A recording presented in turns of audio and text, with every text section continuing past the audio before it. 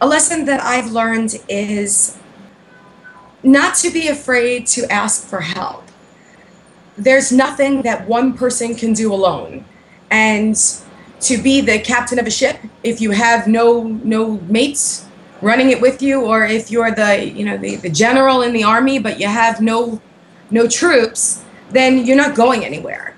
The best advice would be to to share and allow people in because it's no fun doing it alone. You have nobody to laugh with.